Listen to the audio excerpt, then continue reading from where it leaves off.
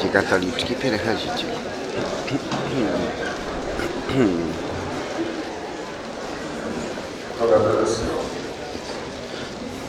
Wojanku. Zaczynamy krótką ceremonię, która jest prowadzeniem Państwa do nawet nie tyle wystawy twórczości Franciszka Strawiejskiego, bo jak patrzę po twarzach, to widzę grono przyjaciół i znawców e, tej sztuki, ale do jego domu, do Pałacu Byka, który był czymś dla Franka w sposób naturalny przynależny. Ja to zaraz objaśnię, ale przedtem chcę powiedzieć o takim ważnym epizodzie mojego życia, kiedy musiałem wracać z Budapesztu na, pogrzeb, na pogrzeb Franka. To było bardzo wcześnie rano. Wsiadałem do samolotu gdzieś koło godziny 6. Miałem nieprzespaną noc, ponieważ spotykałem się z węgierskimi przyjaciółmi, którzy swoimi opowieściami o tym, co dla nich znaczył, sprawili mnie w osłupienie. Tereniu, bądź cierpliwa. 56 rok. Rosjanie zaatakowali Budapeszt. Krew, dramat, łzy. Jedno z najbardziej dramatycznych przeżyć w historii Węgrów. Młody, 26-letni Franciszek Starowiejski pewną kreską rysuje gołąbka, który roni czarną łzę. Węgrzy uważali, że nikt ze świata sztuki tamtego czasu nie ofiarował im takiego wyrazu współczucia i solidarności, jak to zrobił Franciszek Starowiejski. W węgierskich gazetach ukazały się nekroty.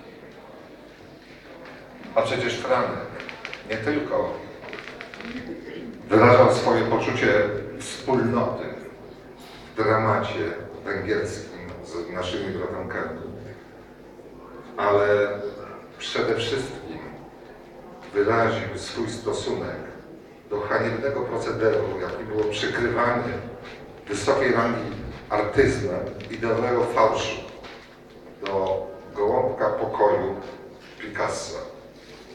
To wynikało z jego światopoglądu, z jego postawy etycznej, moralnej, a także z jego misji jako artysty. Nigdy nie należał do żadnej grupy, nie formułował manifestów ideowych, nie był człowiekiem, który komentował swoje dzieło, ale był kimś, kto w sposób osobny, ale niezwykle klarowny, w oparciu o siłę swojego wielkiego talentu, wypowiadał się na temat rzeczy powyżej rzeczywistości, zwanej powszechnie realną. Franek uciekł z niej na 300 lat do tyłu. Chciał żyć w epoce rycerskiej. W jego czasie rzeczywistym rycerzy wokół nie było, ale on się takim czuł. Teraz, gdybyśmy przytoczyli parę anegdot z jego życia, byłoby to expressis verbis, pragnienie zobaczenia rycerzy wokół siebie. Dlaczego zapraszamy Państwa do pałacu? Nie dlatego, że był paniczykiem. Nie dlatego, że wychował się w aurze dworskiej e, z bonami uczącymi go niezwykłej rangi języka niemieckiego, francuskiego A dlatego, że pałac w pojęciu Franka był przestrzenią uprzywilejowaną, do której e, mieli dostęp nieliczni. Jedni z racji urodzenia, nie mówię tu w sensie realnym, inni z racji rangi talentu czy niezwykłych owoców swojej pracy. Pałac w jego rozumieniu to był taki mur ochronny, który dzielił go od tej rzeczywistości, a który przekraczać potrafili nieliczni. On żył w tym pałacu. Przypominam sobie kiedyś lata 80. Mikołaju Antku, to pewnie słabo pamiętacie, Tereska na pewno bardzo dobrze, jak okropny był ten blok, który dzisiaj trzeba powiedzieć wyszlachetny, w którym mieszkali Państwo starowiejscy z dziećmi. Państwo Dąbrowscy też tam mieszkali. Ja przywiozłem kiedyś na herbatę do Franka niemieckiego arystokraty z naprawdę pałacu, wielkiego pałacu. Wchodzimy przez te drzwi, które się ani zamykały, ani nie domykały. Wsiadamy do windy, która była jaka była. Wjeżdżamy na ostatnie piętro. Otwiera się przed nami przestrzeń nasycona niezwykłym walorem kultury i sztuki. Obiektami materialnymi, które Franciszek zawsze postrzegał jako ważniejsze od tych przypadkowych uczestników życia przedmiotów, jakimi są ludzie. Muszę powiedzieć, że herbata, którą pił z tym arystokratą, prawdopodobnie w jego życiu, tego Niemca, była najbardziej zadziwiającym doświadczeniem, bo po pierwsze dowiedział się bardzo dużo o jakimś robaku, którego ja nazwy nie pamiętam, gdzie Franek wyłożył całą anatomię robaka, zajęło to jakieś 20 minut, z pozorami niezwykłej kompetencji. Ja chciałem wierzyć, że on wie, ale raczej wydaje mi się, że kreował pewien świat. Ale przede wszystkim nauczył tego arystokrata niemieckiego właściwie odstawiać filiżankę i we właściwym miejscu stołu stawiać talerzyk, na którym ona powinna na końcu. Proszę Państwa powiedzieć w takim symbolicznym sensie, dla mnie to był koniec II wojny światowej. Gdzieś jakiś moment triumfu polskiego ducha nad tą żelazną i niepokonaną materią niemiecką. Na koniec chcę powiedzieć, że dla niego było strasznie ważne także pojęcie przyjaźni. Ponieważ obydwu już nie ma, chcę powiedzieć o tej przyjaźni z Janem Kulczykiem. Męskiej, twardej, ale opartej jakiś zespół wartości przynależny tylko ludziom wybitnym. Dwóch wybitnych ludzi w swoich dyscyplinach spotkało się i zawarło pakt w oparciu o jedno zdarzenie artystyczne, którym także byłem uczestnikiem. I to artystyczne w obydwu sensach, bo Jan otwiera swój pierwszy salon Volkswagena na Kluczej, a Franek namalował to idealne koło, które było zawsze dla niego od ręki, rzecz jasna, które było zawsze punktem wyjścia do jego wielkich kreacji. I to koło stało się początkiem relacji, której dzisiaj mogę powiedzieć, że mam poczucie uprzywilejowania, że mogłem do tego świata przynależeć. I także pozwólcie wspomnę jeszcze słowo o teatrach rysowania. Grafika, wiadomo, rysunek, geniusz, plakat, bo mówił, i zaraz to Państwo zobaczycie, nie lubię oficjalnych wystaw, ale myślę, że to by polubił. nie lubię oficjalnych wystaw. Wolę plakat. Rozkochałem się w nim, bo on pozostaje w dialogu z ulicą, z człowiekiem, który przechodzi i ma jakiś rzeczywisty kontakt z tym, z czym nie mają kontaktu ludzie chodzący do oficjalnych sal wystawowych, bo ich tam jest bardzo, bardzo mało. Ale teatr rysowania był szczególną formą. Gdzie jest Helena Norowicz? Chodź tu, Helena. Ponieważ on, jak kiedyś zapowiadając go przed jednym startu, to robiliśmy trzy wspólnie. Znaczy on robił, a ja stałem trzy pewno to. Powiedziałem, że trzeba mieć odwagę Lenina, żeby stanąć przed tymi 100, czy tam 50 pary, bywało, że i 70 metrami kwadratowymi i obiecać zebranej publiczności, że za tydzień doświadczycie czegoś niezwykłego. On wchodził w relacje z aktorami, których zapraszał do współpracy. Helena Robisz była jedną z nich. On był w interakcji z publicznością. On w końcu sam był głównym aktorem tego spektaklu, ale przede wszystkim musiał wykreować świat, który miał zainteresować, wzruszyć, zachwycić, zastanowić, a może wzbudzić sprzeciw, bo i tak też bywało. Kiedyś robiłem wystawę Franka w Moskwie, to były lata 80. Takie moskiewska publiczność jest niezwykle kompetentna w dziedzinie sztuki. I przypominam sobie dwie starsze panie, które weszły, pewnie miały po 45 lat, weszły w chusteczkach e, na głowie, spojrzały na to, to był fragmentator rysowania, który zrobił u nas powiedziały, zdziałano rukoj szatana. On nigdy nie usłyszał większego komplementu niż ten właśnie.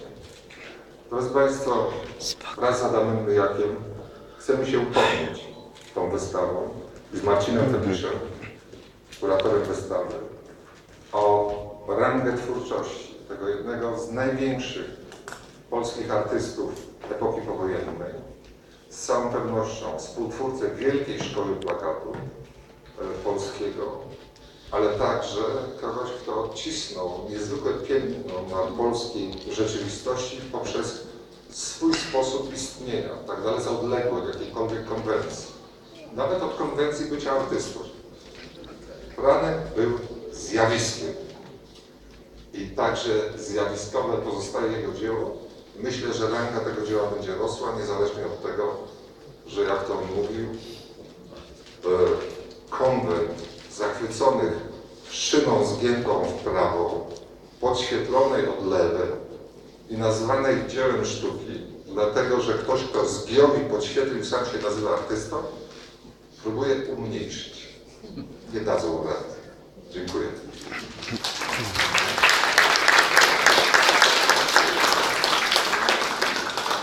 Chcę podziękować wszystkim, że przyszliście. Chciałam podziękować wszystkim, że przyszliście. Widzę masę przyjaciół. Y, I chciałam podziękować Waldku Tobie, bo przecież przyjaźniłeś się tyle lat y, i Adamowi też. No i świeżo poznanemu, młodemu y, Marcinowi.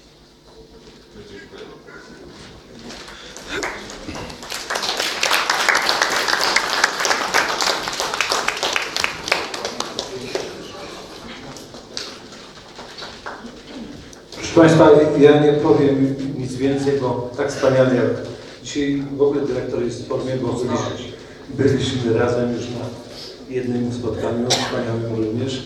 Chcę tylko po- potwierdzić, Franciszek Starowiejski żył 300 lat temu, to prawda, ale Ojej. obecnie jego Ile? sztuka przede wszystkim jest potrzebna po to, aby te szyny zagięte i te inne rzeczy, których jest pełno, już męczą nas, y, przestały wreszcie, zostały przykryte tym, tą wielką sztuką. To jest wspaniały artysta, który, o takich artystach się mówi, że nie byli, oni są. I jego sztuka jest. Także wiwat Franek Starowiejski. Dziękuję. Proszę Państwa, propozycja Franka Staromiejskiego, żebym wzięła udział w jego spektaklu pod tytułem Teatr Rysowania i przeciwko Beckettowi bardzo mnie uskrzydliła. Dostałam tekst, pracowałam nad tym tekstem, zastanawiałam się, jak każde słowo zinterpretować, żeby było no, w jakimś sensie e, adekwatne do wielkości artysty, do tego, co on maluje. Zaczynamy spektakl, a Franek pochyla się nade mną i mówi rysuj serio, nie, przepraszam, nie rysuj, mówi czytaj serio i nudno. I to był Franek. A mówiła te słowa, do, te słowa do Państwa gwiazda Teatru Studiów za czasów Józefa Szajny, Jerzego Grzegorskiego i moi Elena Norowicz. Proszę Państwa, po takich przedmówcach właściwie powinienem powiedzieć zapraszam, ale mm, zaryzykuję, skoro już wszystko sobie przygotowałem.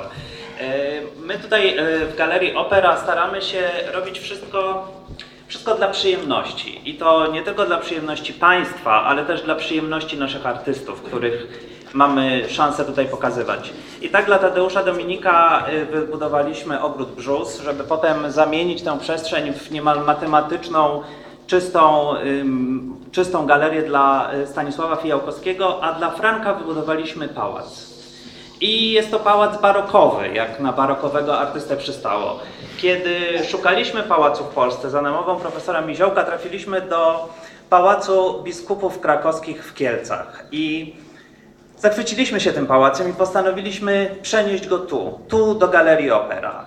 E, Kiedy pojechaliśmy tam z Anią Ciecierą, z którą wspólnie pracowaliśmy nad tą wystawą, Los chciał, że trafiliśmy na panią Bożenę Sabat, która opowiedziała nam niesamowitą historię, a mianowicie chodząc po pałacu oglądaliśmy eksponaty, szafy, stoły i naszą uwagę przykuł porcelanowy biały kogut. Oczywiście bardzo nam się spodobał i powiedzieliśmy za nią, musimy tego koguta wziąć, on będzie nam pasował do pałacu i wtedy pani Bożena mówi, a to nie jest powód, dla którego tu przyjechaliście? Byliśmy trochę zdziwieni, ale okazało się, że ten właśnie kogut stał w pałacu w Siedliskach, w pałacu babci Franka Starowiejskiego, który pałac ulega niszczeniu około 80 km pod Kielcami. E, niestety nie udało nam się przywieźć dla Państwa koguta, ale on jest na stałej ekspozycji w Kielcach, więc jeśli macie ochotę, to zapraszam. Udało nam się za to pożyczyć meble z pałacu w Siedliskach, y, w którym Franek Starowiejski spędzał dzieciństwo i jeździł po prostu do babci. I tak z rzędzeniem historii te meble z pałacu w Siedliskach przez y, mienie podworskie do Muzeum w Kielcach trafiło do nas, do Galerii Opera, na wystawę Franka Starowiejskiego Ubyka w pałacu. Mam nadzieję, że pałac się Państwu spodoba, tak samo jak mam nadzieję spodobałby się Frankowi. Na koniec chciałbym jeszcze bardzo podziękować osobom, które pracowały przy tej wystawie. Przede wszystkim Ani Skołoszyńskiej-Cieciera, która jest y, ze mną współautorką wystawy i Oli Piętce. Są te dwie piękne panie w czerni.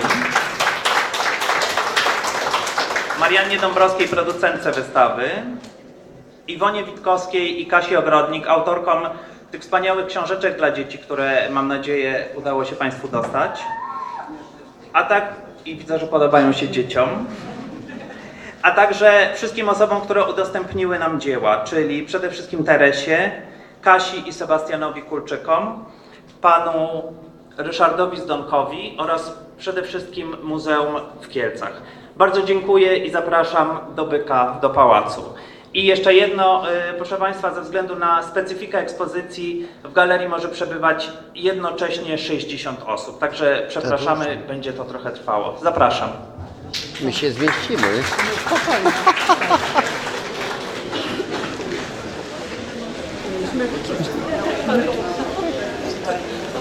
Może no. Ale my załatwiłyśmy wszystkich w konia. O Boże.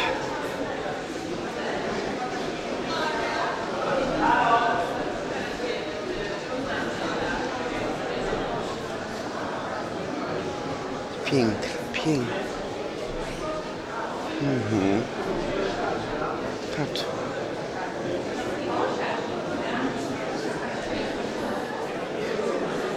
Ja nie wiem, czy to ktoś tu był. Patrz, patrz, Ela Hoff. Trzeba zobaczyć. No. Matko.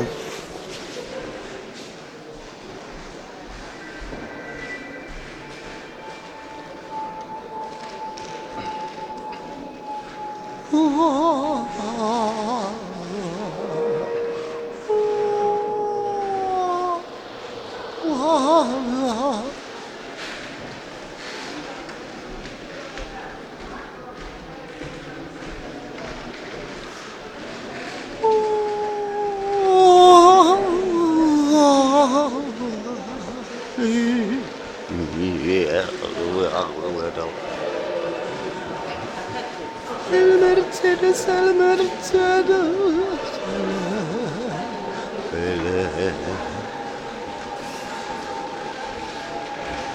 El Mercedes. Jest jeszcze tu. To się już ta e, galeria poszerzyła chyba, nie? Takie wrażenie.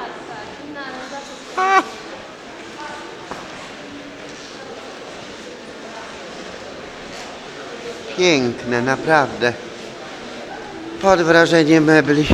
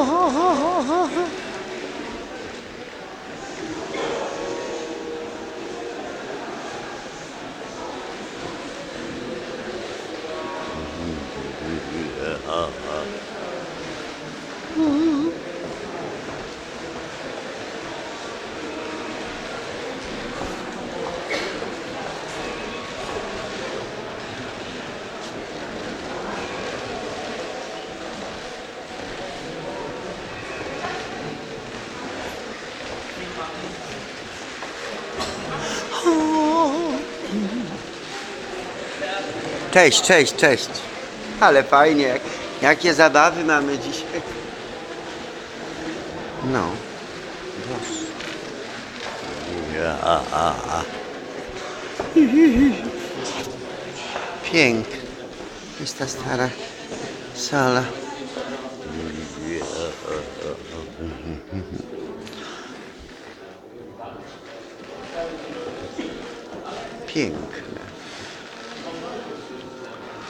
现始了，开始了。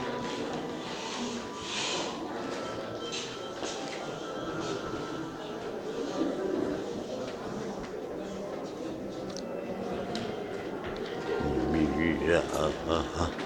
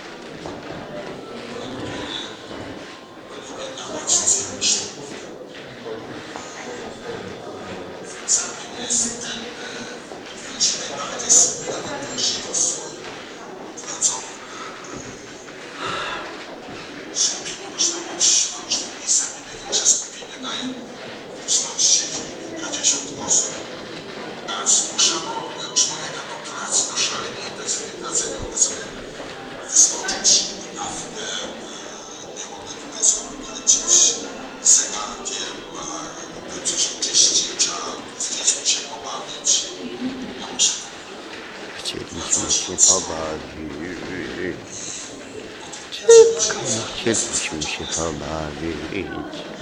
Möchte da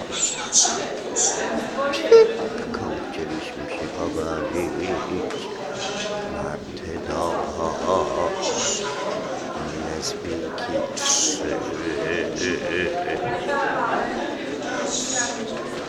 Ay